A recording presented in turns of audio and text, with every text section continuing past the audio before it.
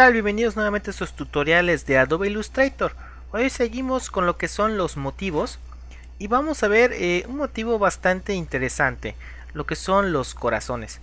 Eh, como ustedes han visto en algunos eh, logotipos que hay en diferentes organizaciones o diferentes marcas, a veces utilizan lo que son los corazones. Los corazones nos sirven para demostrar afecto, alguna manera sentimiento, preocupación eh, o simplemente eh, cuidado del corazón, ¿de acuerdo? Aquí tenemos algunos ejemplos donde eh, pues tenemos corazones dobles, uno que es muy simple, uno donde está el corazón de alguna manera ya en algún tipo de efecto.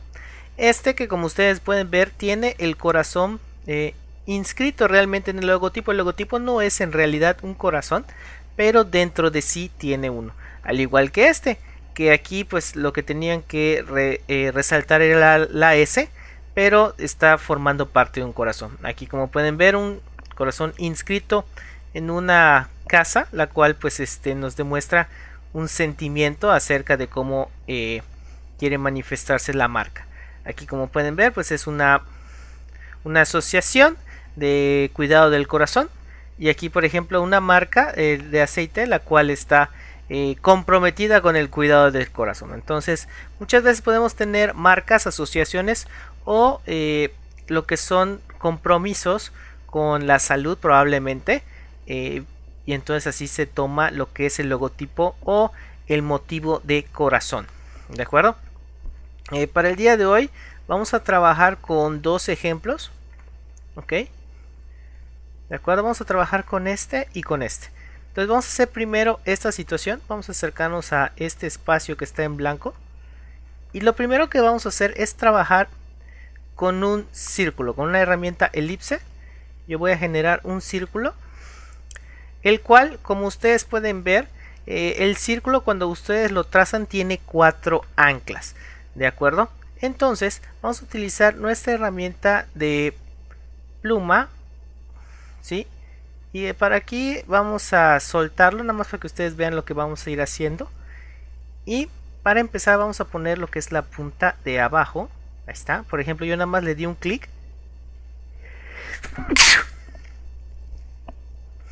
Yo nada más le di un clic con la herramienta de convertir punto en ancla. El cual me convierte un punto que, eh, que formara parte de algún tipo de curva en recta y viceversa. Por lo cual aquí ya generamos lo que es eh, esta, eh, esta punta, ¿de acuerdo? Ahora vamos a hacer eh, similar. Vamos a mover esta parte de aquí, esta ancla. Vamos a mover con nuestra herramienta de esta. Entonces, ¿qué es lo que vamos a hacer? Primeramente, yo voy a mover esta ancla. Y voy a convertir esta situación que esto se mueva. Pero ahorita si yo los agarro nada más con el clic, me lo va a mover indistintamente para ambos. Entonces, ¿qué es lo que vamos a hacer? Voy a apretar la tecla Alt y voy a hacer esta situación, ¿de acuerdo? Entonces, vamos a hacer esto nada más para que ustedes vayan viendo. Por ejemplo, yo voy a dejarlo hasta donde está aquí mi línea guía. Y voy a hacer lo mismo con este manejador. ¿De acuerdo? Aquí pues me está quedando un poco eh, poco raro. Vamos a seguir trabajando con esta situación. Ok, buscando que nos quede lo más eh, curvo. Ahí está. Podría ser más o menos así. Ya sería cuestión de que ustedes trabajaran con sus corazones. Podría yo mover, por ejemplo, esta de aquí. Y ya trabajar con esta situación. Ok, entonces por ejemplo ya tengo aquí un corazón el cual pues yo podría simplemente adelgazarlo un poco o trabajar un poco más con él de acuerdo y ya tenemos este corazón. Entonces qué es lo que vamos a hacer primeramente vamos a eh, generar un cuadro alrededor de este corazón. O sea nuestra herramienta rectángulo vamos a hacer el cuadro alrededor de él ok y este lo vamos a pasar hacia atrás organizar enviar detrás de acuerdo y vamos a alejarnos un poco para que veamos qué es lo que estamos haciendo aquí arriba.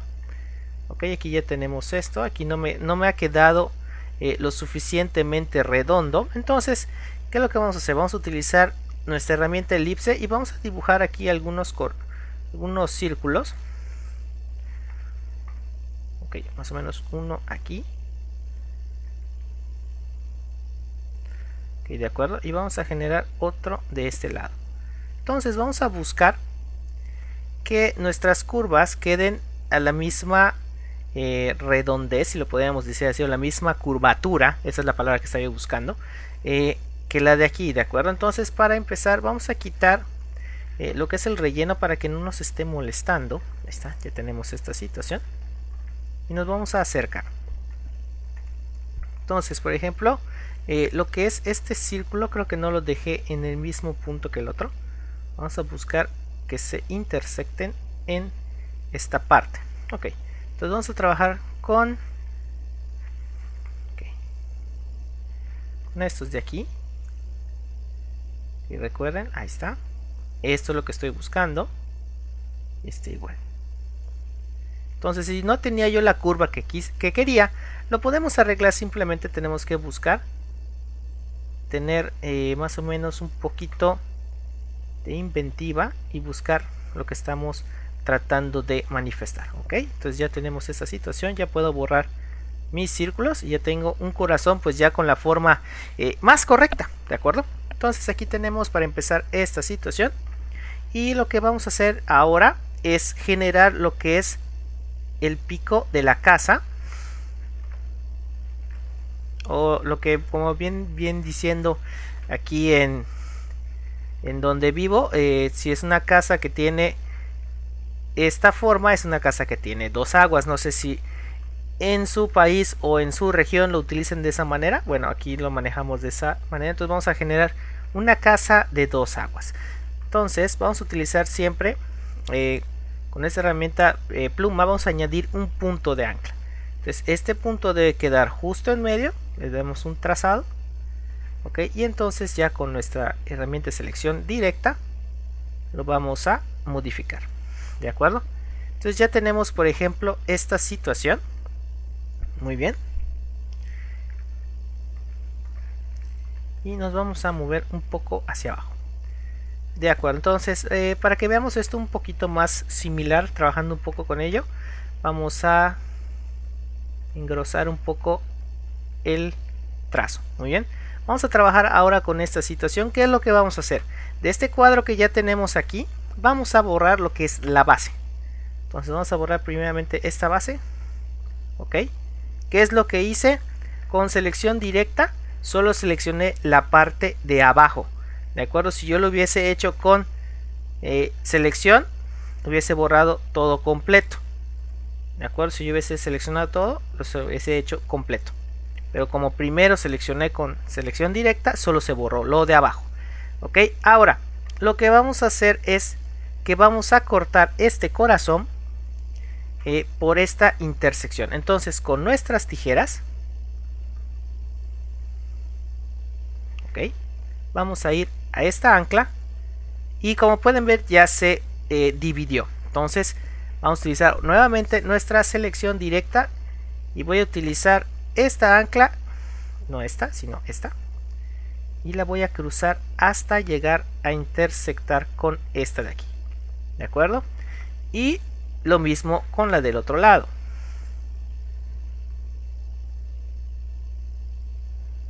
¿De acuerdo? Llegamos hasta acá.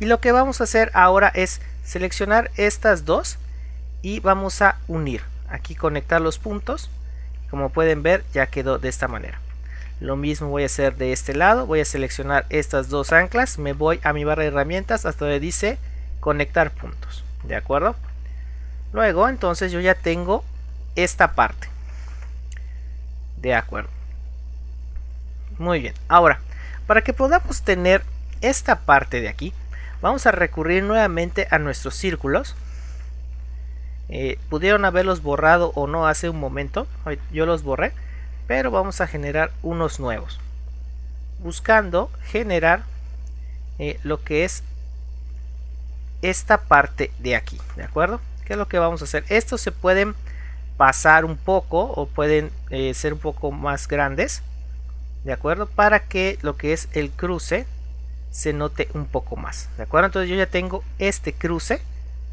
¿sí? Y voy a seleccionar nuevamente todo lo de acá. Y con nuestra herramienta de eh, creador de formas yo voy a quitar ahorita vamos a quitar este pedazo. Ya me fui por otro lado. Quitar este pedazo. Este pedazo. Este de aquí. Este de acá que no me está sirviendo. Y así ir quitando los pedazos aquí ya me pasé. Tengan mucho cuidado con eh, los trazos ok.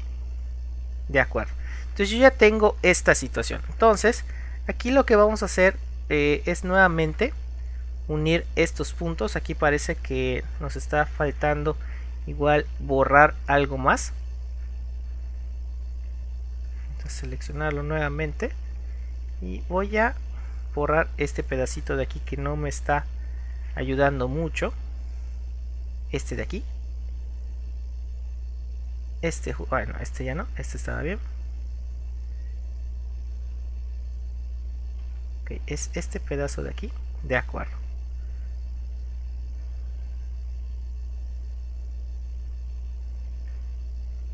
Y entonces lo que vamos a hacer es unir nuevamente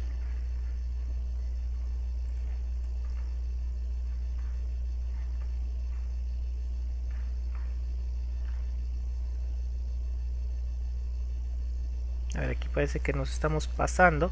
Tal vez hubo eh, un trazo que no debía haber borrado. Vamos a checar qué es lo que estamos haciendo.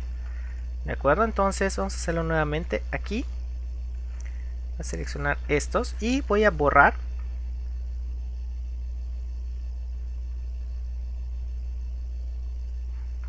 Voy a borrar este de aquí. Voy a borrar este de acá. Voy a borrar este de aquí hasta ahora todo va bien. Voy a borrar este de acá aquí ya me pasé. Este de aquí. Este de este de acá. Ok. Y este de aquí. Logrando esta ahí ya me pasó otra vez.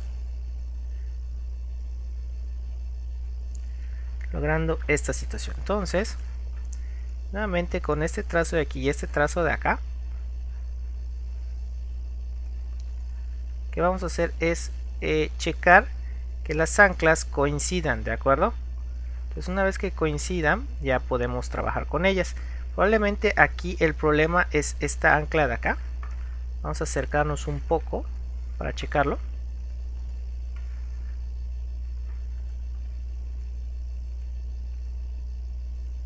Y este trazo es el que nos está haciendo un poco de daño.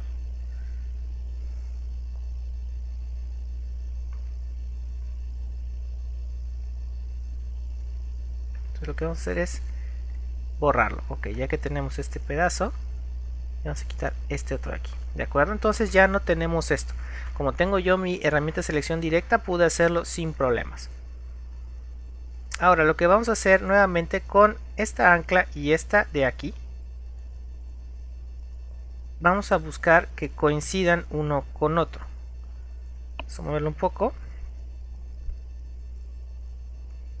De acuerdo y nuevamente vamos a unir. Muy bien.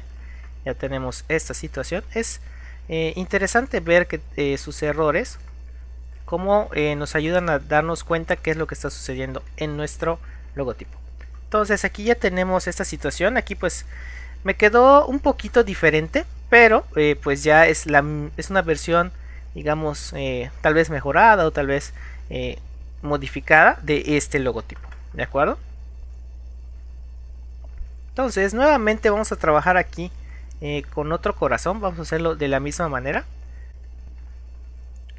Que lo que vamos a hacer nuevamente con nuestro círculo, vamos a utilizar los mismos pasos.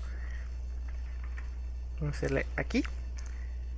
Nuevamente vamos a modificar de aquí este manejador. Utilizar por ejemplo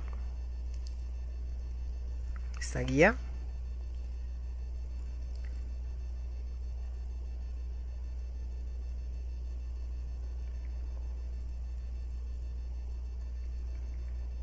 sería cuestión de que quede lo más eh, redondeado posible. Se podría hacer un poco así y un poco así. Entonces vamos a trabajar por ejemplo con este y vamos a generar un duplicado de este mismo escalado. Vamos a hacerlo al 90% ok vamos a copiarlo creo no me salió objeto transformar escala. Ok vamos a hacerlo al 90% ok tal vez un poquito menos al 80 vamos a copiar ok ya tenemos aquí el corazón dentro del otro. Entonces aquí muy sencillo lo que vamos a hacer es cortar nuevamente eh, esta parte de aquí con nuestras tijeras vamos a cortar aquí y aquí. Entonces yo ya puedo separar esta parte y nuevamente voy a cortar en este y voy a mover esta ancla. Ahí vamos a acercarnos un poco más para que no tengamos estos movimientos. Vamos a agarrar esta ancla. No, no, no esta sino esta de aquí. Ok, vamos a mover esta de acá y lo vamos a mover hasta aquí. Esta la voy a regresar a su lugar. Y vamos a hacer lo mismo con estas dos que lo vamos a unir. Traten de que eh, coincida correctamente con el trazo está una intersección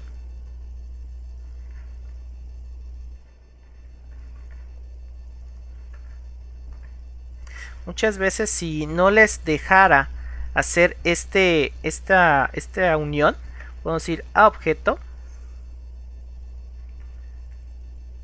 trazado y vamos a promediar. Vamos a poner a ambos y esto de aquí ya debe estar ya debiera de permitir unirlo. Ok lo que vamos a hacer para que sea más exacto vamos a utilizar lo que es la vista de contornear y tratar de ver si realmente están eh, coincidiendo entonces al parecer parece que no hacer un poco el ancla y este de aquí ¿de acuerdo? Y ahora este parece que nos está molestando. Siendo esto, ahora ya lo puedo unir y eh, quitar eh, lo que es la vista previsualizar y ahora sí ya lo puedo ver. ¿De acuerdo? Vamos a regresar. Ya tenemos hasta ahora esta parte. Entonces lo único que habría que hacer es darle el efecto de aquí y de acá. Que eso lo hacemos con eh, nuestra herramienta eh, anchura entonces vamos a trabajar por ejemplo con este no tanto aquí ya nada más habría que checar qué tanto. Podríamos utilizar alguno de estos. Podría ser de aquí para acá.